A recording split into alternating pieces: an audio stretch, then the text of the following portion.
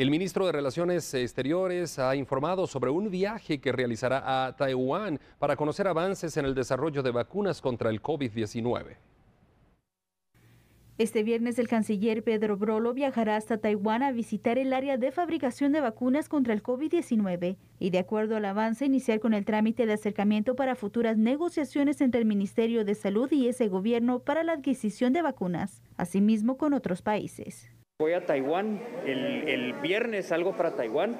Taiwán está desarrollando, me parece que ya están en fase 3 con la vacuna. Voy a ir a visitar la fábrica y esperamos eh, eh, el desarrollo de esta vacuna como de otras. También hemos hablado con México sobre el proceso de fabricación y desarrollo de, vacunas que ellos tendrán, no solamente de la vacuna patria, que es una vacuna que ellos están desarrollando, sino también de la posibilidad de que ellos puedan fabricar otras vacunas como la AstraZeneca y la Sputnik.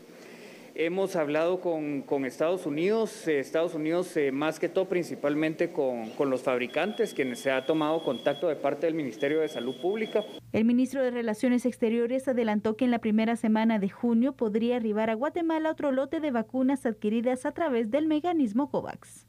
Estamos esperando que venga COVAX eh, aproximadamente la primera semana de junio y actualmente, según un cálculo, hay más de seis, eh, como 658 mil vacunas actualmente en Guatemala.